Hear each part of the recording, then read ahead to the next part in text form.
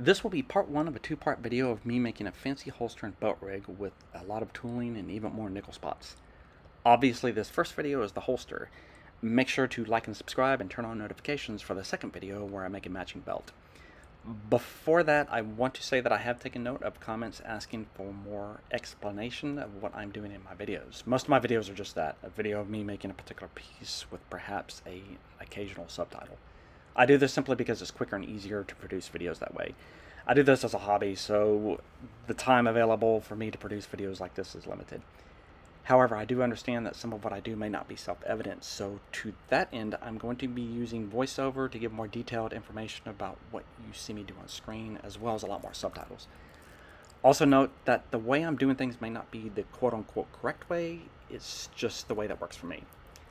This new holster pattern is, is new to me. I developed this just for this rig. If you haven't seen my previous video on making vintage money belt rigs, I'll direct you to that, but for those who have, you'll recognize the craft foam that I'm using to make a mock-up of this holster. So the shell is made out of 9 ounce veg tan leather. I typically buy my leather as double shoulders, sides, or bends. It just really depends on what's available, what the cost is, and, and how the hides look.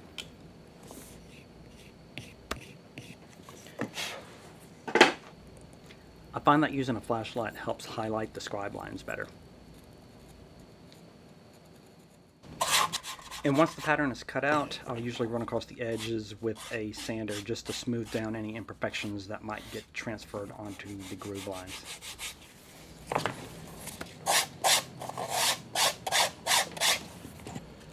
So the outside line is my stitch line and I'm going to just use the creaser attachment on this. I'm not actually cutting a groove.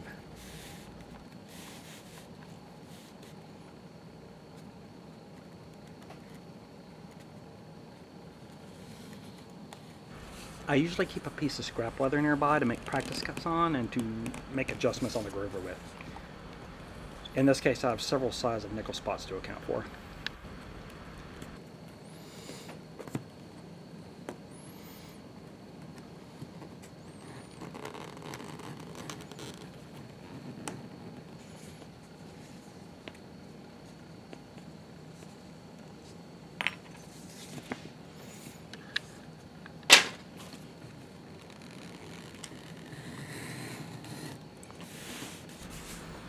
One of the challenges of filming all this is keeping the focus of action in center frame.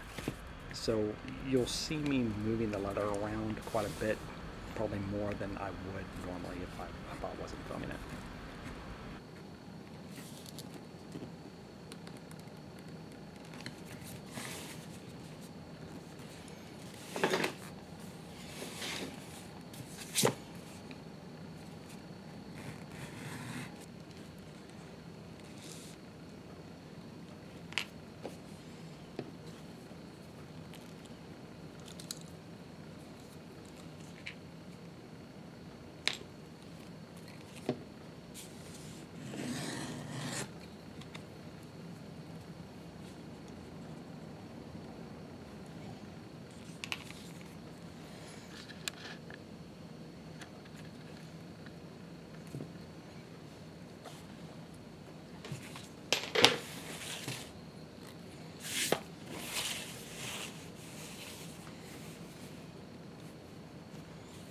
I'll just point out that I often start my cuts here in this area where the skirt folds over the, uh, the body of the holster, just so if there's anything wrong, like for instance I didn't have my barrel nut tightened down or I've just got the wrong distance, that any sort of screw ups will be hidden back there. It's better to have it happen there than somewhere else more obvious.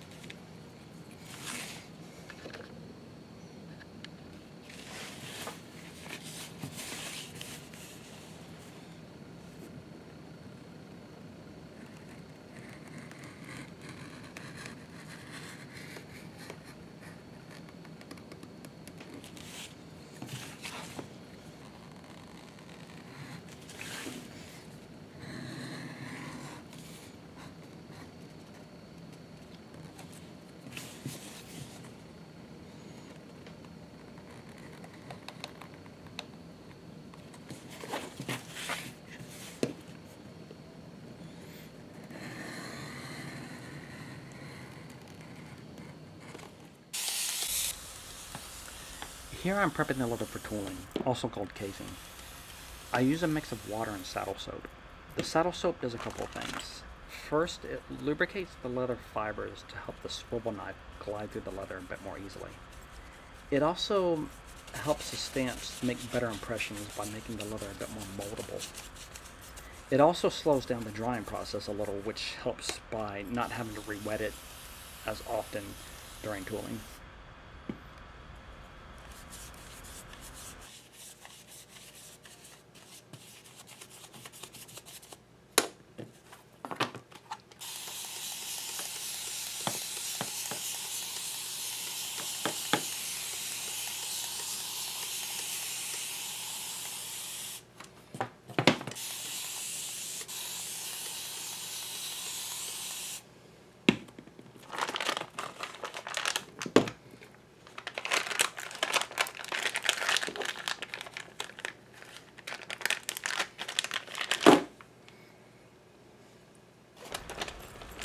I usually let the leather sit in a bag, if not overnight, for at least a few hours.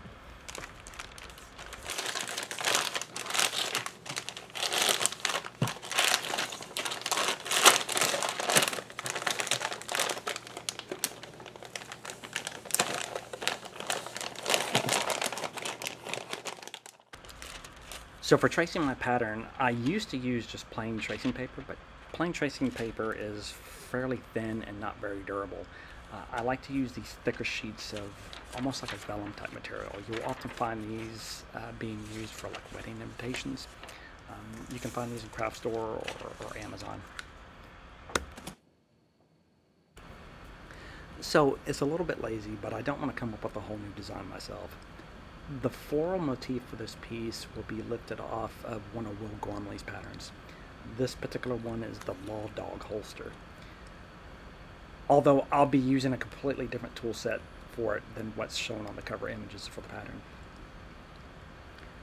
All of Will's patterns are excellent and I highly recommend them.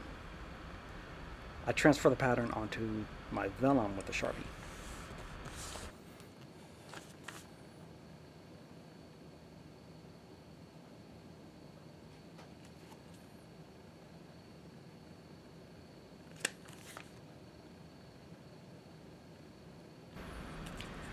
So now I transfer the pattern onto the leather, and for this I'm just using a stylus tool. So this video isn't really meant to be an in-depth instructional on my particular way of tooling floral patterns. Uh, it would just really be way too long, but if you are interested in something more along those lines, I will direct you to my previous five-part series on tooling for the Hand of God holster. Uh, but for this video, I'll just focus on one particular section of the tooling and list the tools I'm using using the subtitles.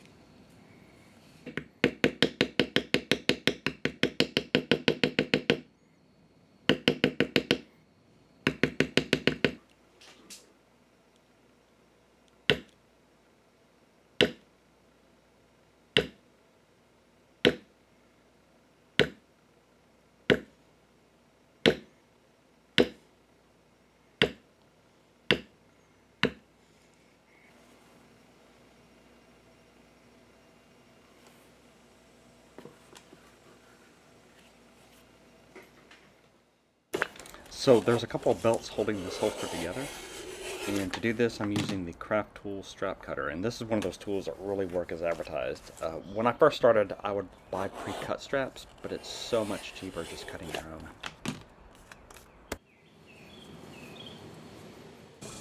I need to thin one of these straps down a little bit. This is the Craftool High-Tech Leather Splitter. And uh, this is actually something I did one of my very first videos on. Uh, if you need to know more about this, I would refer you back to that.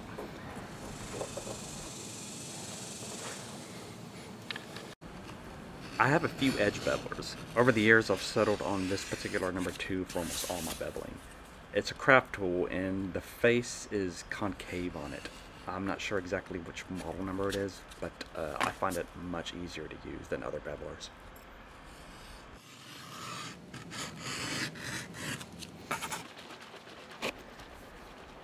I mostly use Fiebing's dye, and I usually don't use it straight from the bottle. I cut it with alcohol so I can build up the colors and do things like make gradient effects. I work in my garage, so I just open up the doors and turn on fans for ventilation. The only downside to this is if someone who bought a holster comes back and asks for a matching belt, then matching colors could be something of an issue. I'm making a large batch here so I have enough to make the belt later on.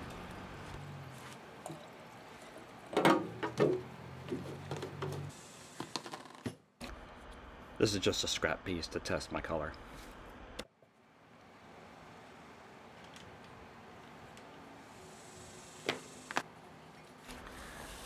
I like to use synthetic wool applicator pads to put on my dye with, and I try to always use circular motions.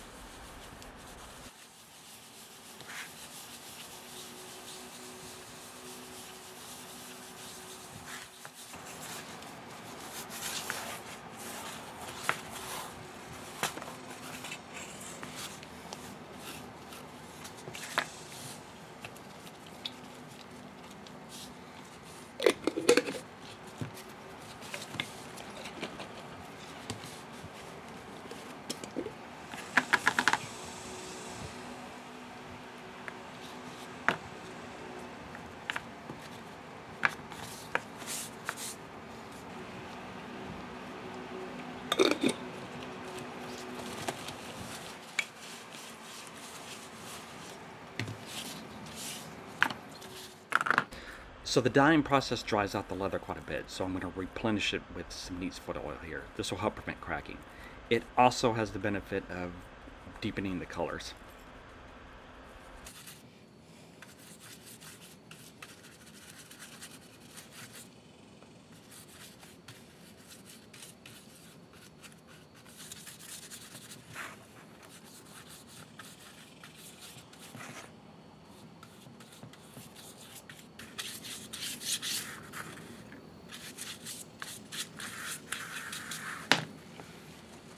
One of the biggest changes I've made recently is using milled leather for my linings.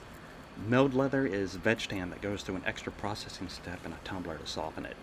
It almost feels like chrome tan and is identified by a more pronounced grain texture. It can also be dyed. Most importantly for me, I can glue and stitch my linings flat uh, instead of curved around a dowel rod like I've done in my previous videos where I'm using regular veg tan the milled leather basically eliminates the crinkling issues when the holster body is folded.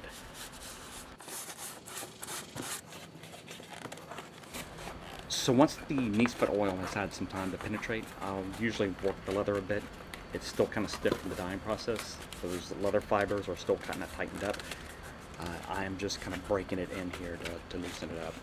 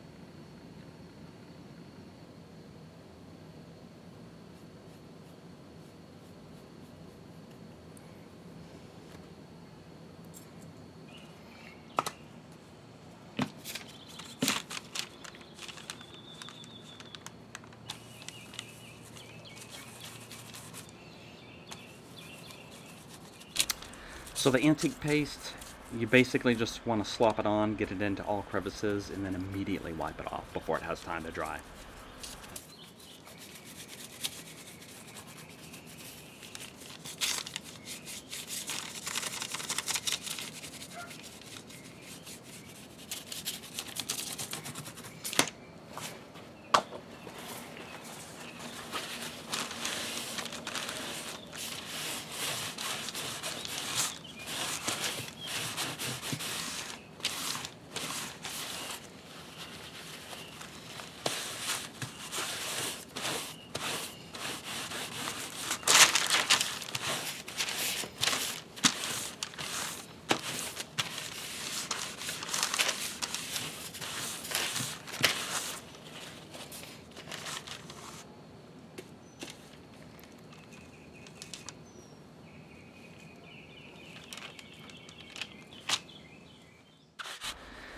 So once the antique paste is dry, I'm going to go over the tooling with a melamine foam pad. This is sometimes sold under brand names like Mr. Clean. This is just to bring out the highlights. Um, if you haven't seen my weathering video, uh, I will direct you towards that.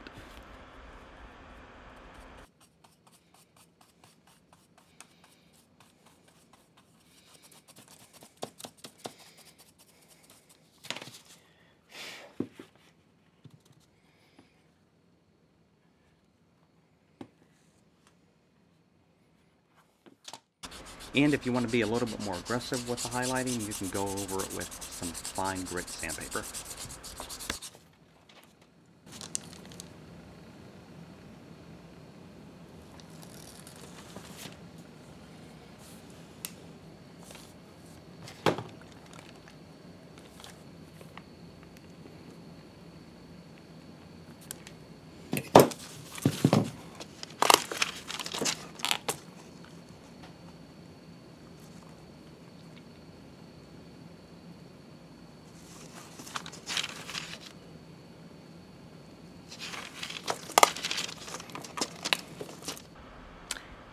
Here I'll just say that the domed rivets are so much easier to work with than traditional pronged nickel spots.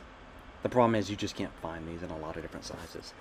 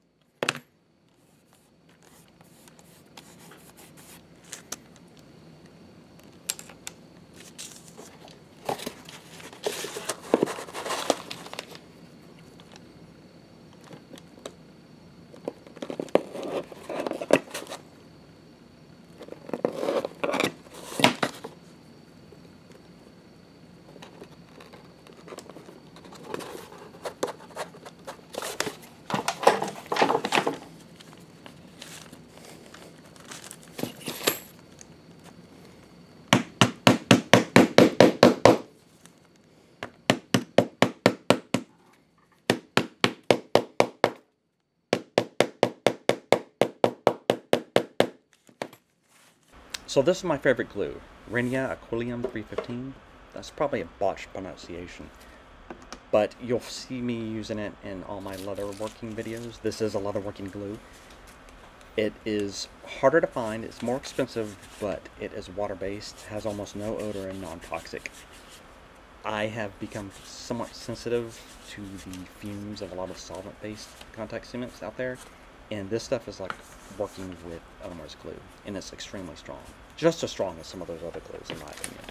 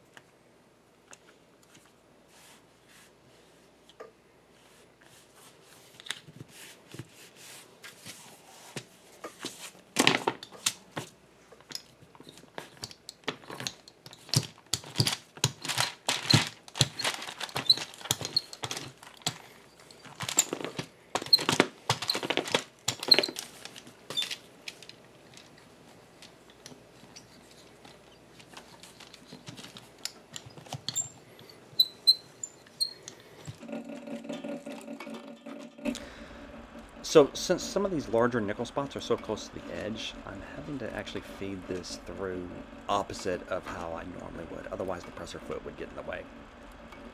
And I'm having to go extremely slow.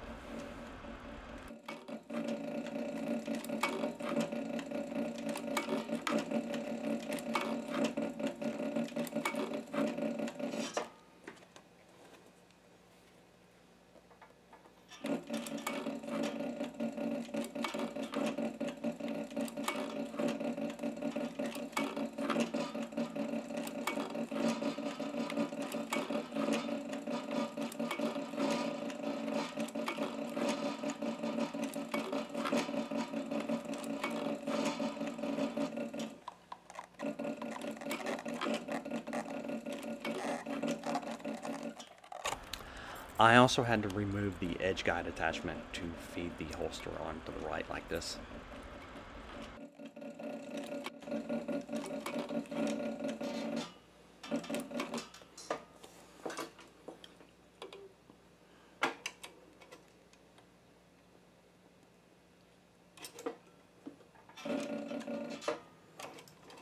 In lieu of backstitching on the machine, I pull out these last few threads and saddle stitch them.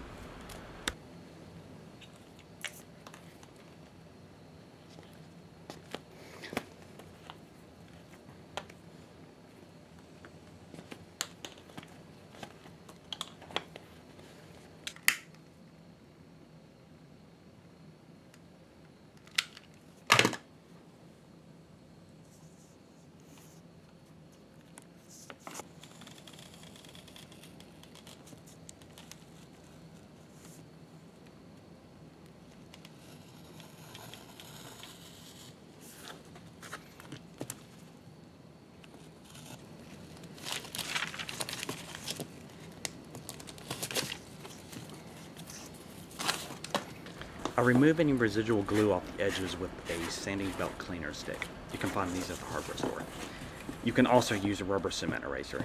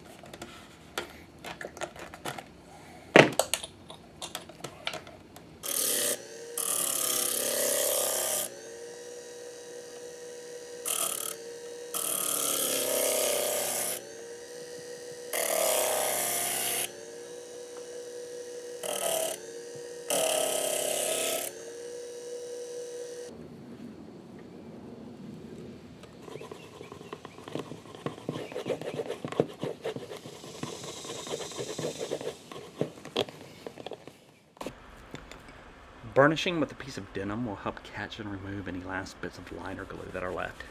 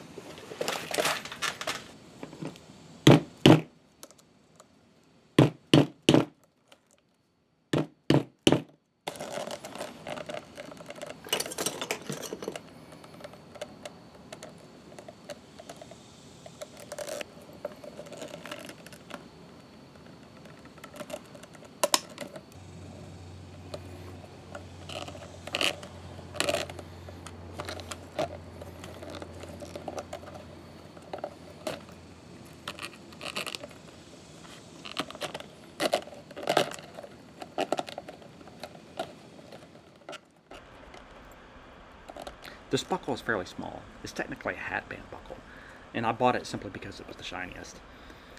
But it isn't taking the full force to keeping the holster together. The larger belt underneath it does. This is more of a decorative piece to keep that belt closed. And as you can see, I'm pulling on it with much more force than it would normally be subjected to, so it should be plenty strong enough.